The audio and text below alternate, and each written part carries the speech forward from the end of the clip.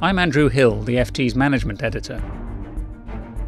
As a long-time observer of chief executives, I've always been interested in how leaders behave under pressure. Whether they're rescuing a company, bidding for another or being bid for, launching a new venture, or even facing disgrace, trial, and jail.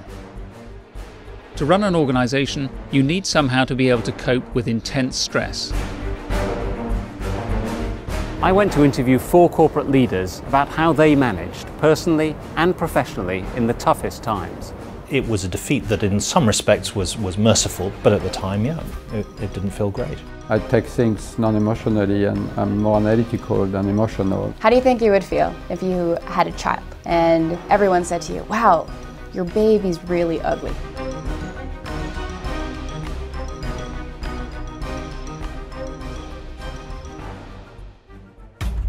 Dennis Kozlowski faced stress every day as chief executive of the enormous US conglomerate Tyco in the 1990s. People tell CEOs that, that are on the top of the game what they want to hear. And then he went to jail. It's about as Kafkaesque as you can get. It's like a terrorist sitting there with a gun to your head. The Financial Times caught up with him at his New York apartment to explore how he dealt with that pressure and what he has learned. I guess it's true that some people get a shock, a minor shock. Instead, I got an earthquake.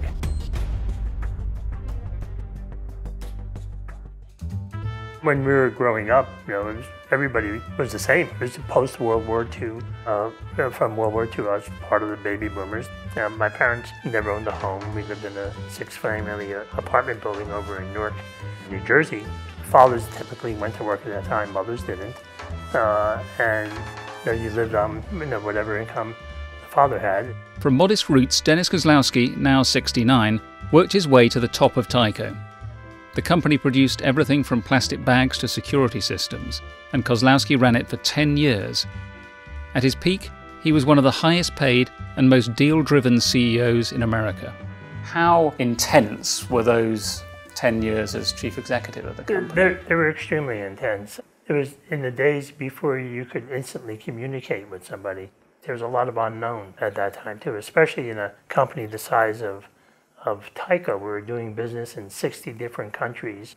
It was something that was never removed from your mind. You were always thinking about the company, no matter what else you may be doing. On the tennis court, if you're going for a run, uh, if you're selling a sailboat, whatever is going on, you were thinking about the company. Your, your mind was always going back there. He learned that the only way to run this vast organization, which employed more than a quarter of a million people, was to delegate. But that didn't lessen the pressure to meet targets and make deals. I think the most stressful thing was the acquisitions. Uh, and some of the acquisitions, uh, you can make or break the company, and you can go from having a lot of confidence in a company to, to no confidence in with one bad deal. Despite the stress, it was the deals that made his name and turned Tyco into a stock market favourite. With success came publicity. He made the cover of Businessweek in 2001, which labelled him the most aggressive CEO and described him as supremely self assured. How did you deal with at the time that publicity personally? Did it go to your head, do you feel? I, I think it had me believe some of my own press. You know, back then when uh, you come out as being the number one company uh, in the S&P by an analysis that you know some independent party does, you know, you start believing, you know, you're you're pretty good. But I always knew it was an entire management team. The people running the operating divisions, you know, were, were the stars of the show. But prosecutors and reporters would ultimately focus on the trappings of wealth he accumulated. The extravagant $2 million party for his now ex wife's 40th birthday in 2001, expensive decor including a notorious $6,000 shower curtain, his mansions and yacht, and a lavish pay package aimed at keeping him at Tyco until at least 2008 around that time, you were also offered and signed a pretty generous remuneration agreement plus lucrative severance terms. Sure. And this, of course, came to the heart of one view of what happened then yes. afterwards. But did it feel like it was something that was deserved for the work that you were putting in? Yeah. If you looked at our return to the shareholders for a lot of years, you know, we were we were doing a good job. Investors, you know, were doing well. Uh, employees were doing well. Uh, I was considering leaving Tyco and my mind was made up. In fact, I had a couple of other opportunities where I felt I was at Tyco long enough, and uh, I sought some outrageous terms, you know, from the uh, uh, from the compensation committee to you know to stay uh, because I felt you know I could do some of the things that I was doing and take some of the public company pressure off myself. So when I sent the word out to the board that uh, here's a uh, compensation agreement, and I modeled it after other compensation, high-level compensation agreements out there to you know for uh, for a stay put you know uh, uh, situation. Uh, I, I, I think I, I was surprised that, that the board went along with it, or that the compensation committee went along with it. I, I, I wouldn't have signed the other side of that. Then things started to go very wrong. Following the fraudulent collapse of Enron, the US power company, in 2001, the climate for CEOs had chilled sharply. Kozlowski was an inviting target for prosecutors. Business worries built up, and in 2002, out of the blue, Kozlowski was indicted for not paying sales tax on art acquired for the Manhattan apartment he then used. The Tyco board forced him to stand down. Did you have a kind of queasy feeling that this might be the beginning of something much, much graver? Well, I had the feeling that uh, you know I did nothing wrong, uh, and that I have to fight this, and uh, you know doing what I needed to do was going to take away my ability to run a company, to, you know, to run a public company it's a different kind of pressure, but it, it, it's all it's all very stressful. Uh, but you know, it was a different kind of pressure. You're in a comfort zone as a CEO. I, I came up through the organization at Tyco, and I knew my way around. Now suddenly you're being faced with a uh, criminal uh, indictment. Uh, you know, I don't know anything about criminal lawyers or how the process works. What did it feel like being called and told that you were no longer CEO? Uh, it you know it, it, was it was devastating, you know certainly devastating. But it was uh, uh, I had I had a bigger problem. I had you know, I was going to be indicted on a criminal sales tax charge. Did you feel, in the sense that any protection that you might have had from being the famous deal maker, Dennis Kozlowski, had been sort of stripped away at that point? It, was an all-consuming, you know, 365, 24/7 job, but you know, once I was out of out of that job, you know, I, you know, I, you know, you know the CEO persona stayed there, and then I was, you know, here on this side being Dennis, you know, and, and looking at what I needed to do to uh, uh, to defend myself. The sales tax charges were dropped, but the indictment set off a chain reaction. Kozlowski was accused of looting $100 million from the company in the form of bonuses that were not approved by the Tyco board. The uh, company, through independent counsel they hired, came up with the fact that uh, I stole bonuses that were uh, uh that that were paid on four of the most profitable transi- transactions ever in the history of Tyco.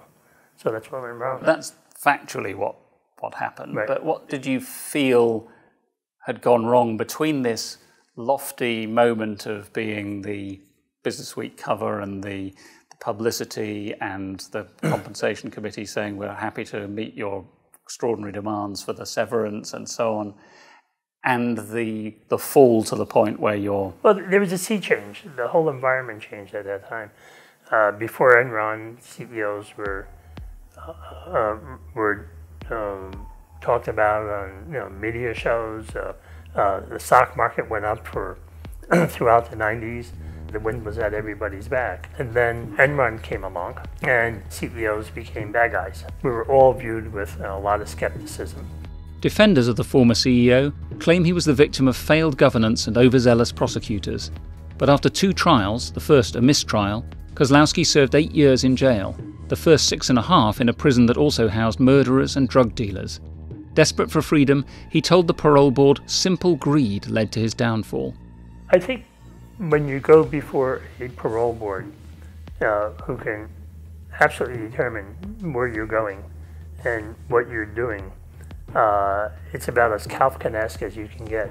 It's like a terrorist sitting there with a gun to your head and saying, unless you tell us what we need to hear or what we want to hear, you're, you're not going to get parole. So I, I think, you know, you, you have to think through you know, reality from, you know, from the situation that you know you're you're dealing with, you know, with a you know with a parole board, and that might not necessarily be you know be exactly the same things. You know, I, I maintain that you know I was not uh, guilty of of the things a jury found me guilty of, and I you know for the most part I maintain that to this day. In jail, in contrast to his previous life, Kozlowski's goals were simple. For example, to have a chair to sit on. He became the jail's laundry czar. What I needed to do was to stay busy, you know, in some way. And you know, by having the laundry job, uh, I was able to sit in the laundry room and uh, uh, have a chair, which is a rare commodity in prison. It's Right. the one I was in, and uh, so to have a you know, albeit a small little wooden chair, but to have a chair, uh, be able to do my job in the washers and dryers and read at the same time. Only in 2015 was he finally free to travel without curfews, supervision, or other obligations. Having repaid nearly $100 million, plus even more in fines and legal fees, he has embarked on a new life and married again. He does some low profile corporate advisory work and chairs a non profit that helps ex prisoners re enter society. Above all, he says he has restored the balance and time with family he sacrificed when CEO. I had this level of satisfaction and happiness at home.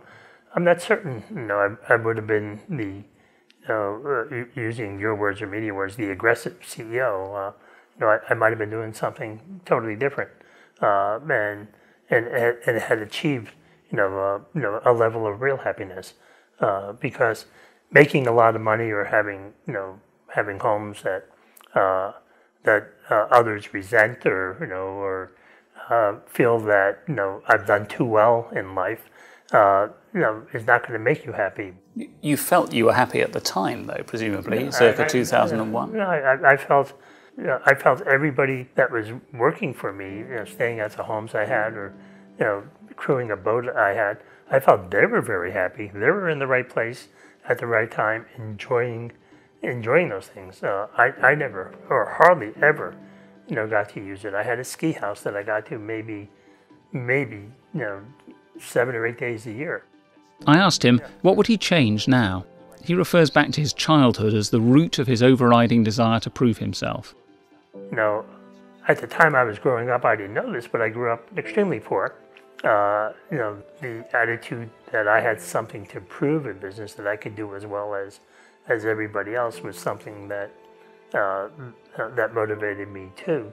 But uh, once you know, once I achieved a certain level, you know, and I and I proved it, I didn't need to go on proving it year after year after year. Might it be that you need somebody else to tell you that when you're at that stage? It's quite hard to imagine in yeah, that situation. Perhaps people tell CEOs that, that are on the top of the game what they want to hear. Very few people tell them, you know, something contrarian for fear of, you know, of, of being uh, not listened to or you know not having any influence. So uh, I think if you know if somebody that uh, you know got my attention with that and I and I had that advice, it would have been helpful to me. It certainly would have been correct, but I think at that time it, it could have been helpful. Right.